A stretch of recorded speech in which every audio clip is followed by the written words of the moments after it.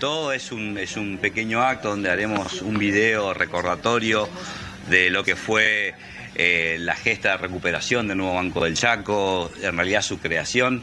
Eh, como recién mencionaba, el Banco del Chaco estuvo cerrado durante dos años, entre el año 1992 y el año 1994, y el 4 de noviembre pues, se pone en funcionamiento lo que es el nuevo Banco del Chaco, ya con la participación de los trabajadores como accionistas, también de, ahorristas del nuevo Banco del Chaco fueron parte de este de lo que fue la creación de este nuevo banco y estaban también capitales privados y eh, capitales de la provincia del Chaco. Bueno, esto fue mutando en el tiempo para llegar a lo que es hoy eh, el nuevo Banco del Chaco, pero recordar también este cumpleaños tiene que ver de poner en valor lo que significa un banco provincial y también lo que significa administrar bien un banco provincial. Eh, esta es una de las instrucciones que han sido precisas del gobernador Capitanich cuando me encomendó esta tarea de, ser este, presidente de este directorio, de tener justamente una visión de un banco líquido, sólido, solvente, rentable,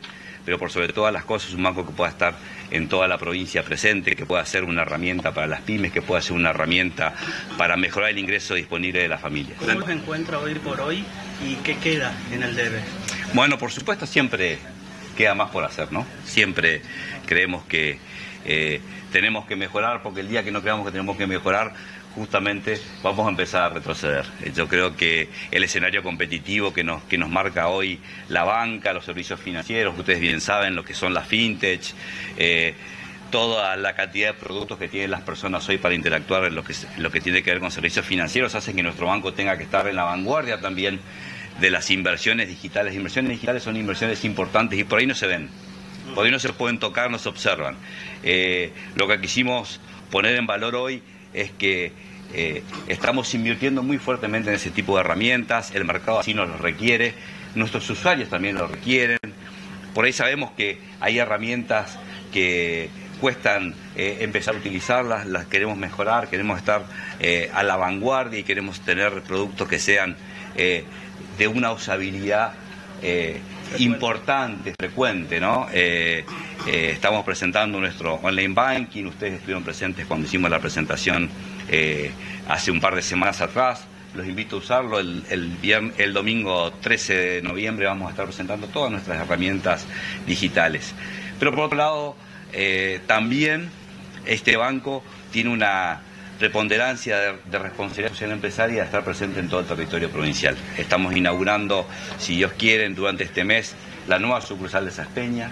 Eh, hoy estamos también este, en la recuperación de lo que fue el tercer, segundo, tercer y cuarto piso, que también en aquellas épocas de vacas flacas, de empezar a reconstruir este banco, se alquilaron para poder sostenerse. Hoy las estamos recuperando para que este banco tenga eh, en su casa central el back de servicios necesario para poder sostener un banco moderno. Eh, así que también es la recuperación de estos tres pisos y Ustedes habrán visto la remodelación de lo que, de lo que es la sucursal Resistencia, la, principal sucursal de la provincia. Hemos remodelado completamente la, sucursal de Tres Giletas y estamos trabajando en las 45 mini filiales y empezamos San Bernardo ahora, es decir, siempre tratando de que más allá de que el, mercado está, eh, vaya yendo a, soluciones digitales, también ser soporte de todos aquellos que quieren tener un banco cerca. La idea nuestra es tener un banco de cerca. 28 años. Importante lo que fue la recuperación del banco, ustedes como trabajadores, tiempo atrás, hace 28 años, contanos un poco de la historia de cómo llegamos a, a donde estamos con el banco. Bueno, fue una historia bastante movida, todos conocen ya el triste comienzo de esto, cuando un 13 de agosto de 1992 nos enteramos que un decretazo del gobernador de la provincia entre gallo y medianoche este, no cierra el banco por instrucciones del Banco Central y del Gobierno Nacional. Así que bueno, notificado esa triste noticia, en hora de la tarde que me citan sin decirme nada en el Ministerio de Economía, inmediatamente vinimos, hicimos una asamblea con los compañeros y, y, elaboramos un plan de lucha.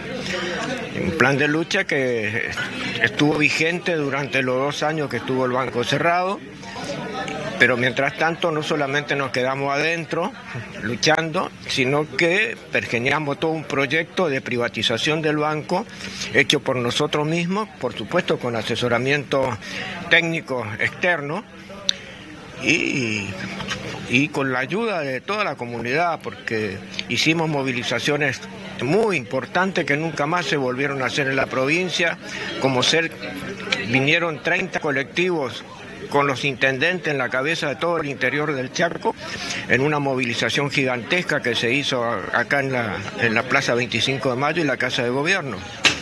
Así que fue una lucha muy compleja que tuvo esas dos características, la lucha en la calle y también al mismo tiempo un trabajo técnico para lograr un proyecto que nos permita participar como accionista en, la reapertura del banco. Así que fue que logramos, tuvo por suerte un final feliz. Bien, ¿y cómo están los trabajadores hoy? Hoy, hoy el banco está muy bien y si el banco está muy bien, sus trabajadores también están muy bien, con un muy buen salario y un banco que hoy es modelo no solamente en la provincia del Chaco, sino a nivel regional. Así que en ese sentido estamos orgullosos del trabajo que hemos hecho, estamos orgullosos de la nueva generación que tiene que tomar la bandera esta y este, vemos con mucha satisfacción de que todo está yendo muy, pero muy bien. El mensaje para los trabajadores, para aquellos trabajadores de hace 28 años y las nuevas generaciones, como decía, que, que están en el banco. Bueno, para los compañeros que participaron en esta lucha y que hoy muchos ya no están porque se han jubilado o han fallecido, nuestro reconocimiento eterno. Sin esa lucha, sin ese acompañamiento, sin esa unidad y solidaridad que nos llevó a, lograr lo que logramos, este, hoy no estaría este banco abierto ni funcionando. Y para la nueva generación, bueno, que lo está haciendo muy bien y que tiene el mismo espíritu de solidaridad que los, los anteriores, este, tienen ese desafío. En sus manos está que este banco siga haciendo lo que es hoy y seguirá siendo en el futuro.